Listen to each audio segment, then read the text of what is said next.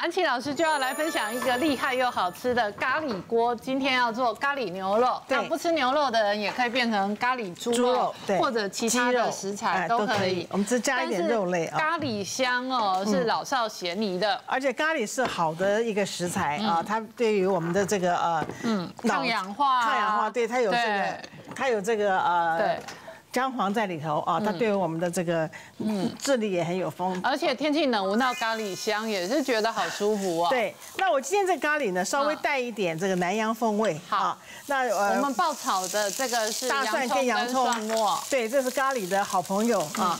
老师，你用的不是市售的那个咖喱块，是咖喱对粉。，咖喱块它本身会让那汤汁浓浓的，对。我不太喜欢用咖喱块。OK 啊，我就喜欢做粉的话，汤会比较清爽一点。好，那我们这边的嗯。咖喱炒一炒之后呢，我们放这个呃柠檬叶啊，哎，这个是呃超级市场买得到的哎。干的香料柠檬叶。柠檬叶啊，那这边放的是香菜的梗子，哎，这个是我们一般的香菜的那个带梗的那个对。，就是光梗的部分啊因为这样他们在这个呃做泰式啊，或者是一些他们的这个酸辣汤，都是会放这个，还有就是香茅好啊，，这个白色的是椰奶，椰奶。哎，对，我说做南洋风好，所以超级市场也买得到椰奶。哎也买得到椰奶，，但是老师刚刚讲要做锅物，我就可以稀释它。对。而且有的时候锅物，因为你煮了一阵子之后，它会更浓郁。对所以你一开始的那个汤水不需要那么的浓稠。对啊，因为它煮的话会变少一点啊。嗯那我们这个唯一需要调味的就是一点盐就可以了。哦，现在我闻到的是咖喱香，咖喱香对所以刚刚那个洋葱、大蒜跟咖喱有炒有香有对差。，哎，他们是好朋友，然后洋葱跟大蒜。对啊这个呢，我们放一点红油。好，我们先看看红油是老师自己家里特制，你怎么做？我是拿这个四种辣椒粉啊哦，要因为像以前就是那种我们买得到什么韩国辣椒粉、什么辣椒对粉、干的辣椒粉。对对，以前都是用一种叫紫草让它变红啊，嗯但是现在有韩国辣椒粉，我就用韩国辣椒粉，然后有粗的、细的跟辣一点的，就是呃哦，嗯，所以有的就会带色，有的就会带辣。带辣那这个事实上是有色的那个浓郁，但是不见得那么辣。不辣。对，今天有洪医生在啊，不能做太辣。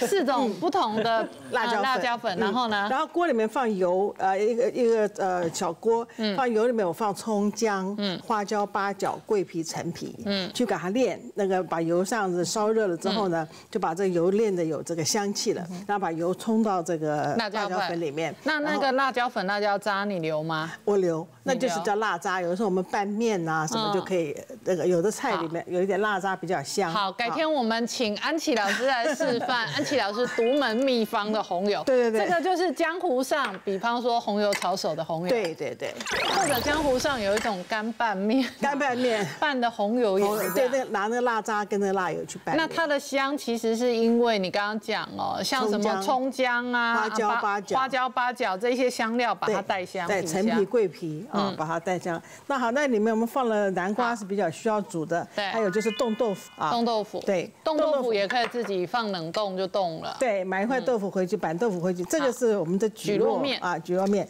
这个我自己吃火锅，我很喜欢加这个蒟蒻。那咖喱锅底做好之后，你真正吃锅的时候。薄的肉片很快熟，对。然后这个如果是海鲜、虾子都是快熟的，然后花椰菜哦可以不用煮太老，那菇也是，所以可以稍微煮一下。好，那同时间我们安琪老师的咖喱锅底哦，这样子其实就是家常哦这个 OK 的锅底了。对，那我们现在就来放蔬菜。好。啊，刚刚医生有说先吃蔬菜，那这个花椰菜我们给它烫一下。那在家里当然你有很多选择，你可以烫其他的，像现在冬天到了，茼蒿菜啦、菠菜啦啊，都可以我们都可以放啊。然后菇也是，菇也是啊啊，菇真的是火锅的好好朋友，朋友，对，而且菇煮了之后，它的这个本身的鲜甜，而且它是高纤维啊，那今天这个老师准备的是火锅肉片跟一点虾，对，那火锅配肉片是牛肉，那我今天买的不是牛小排，牛小排的油分就很多了啊。我买的是沙朗的部分啊，沙朗的部分的话呢，它本身的有油花，但是呢，它油花不像刚刚说的雪花对油花啊那那么油。对，啊我觉得的火锅肉片，你在超级市场挑的时候，你会很明显一眼就可以辨识它的油脂含量。但是老饕特爱的那个雪花真的很容易很油啊，胆固醇高的人啊，吃这个真的是火上加油啊。好，然后我们最后就下牛肉片。那牛肉片。不好意思，我用手抓一下啊，因为它这需要一片一片的下啊。哦。因为牛肉它切的很薄，但会粘在一起，粘在一起的肉比较不容易熟。对对。所以就是这样子酌量的下。下哎。然后其实这种薄片，因为它熟的快，嗯，所以稍微穿烫熟了就可以吃了。对。刚刚洪医师就讲说，肾脏疾病的人，他事实上是可以这样穿烫肉片吃。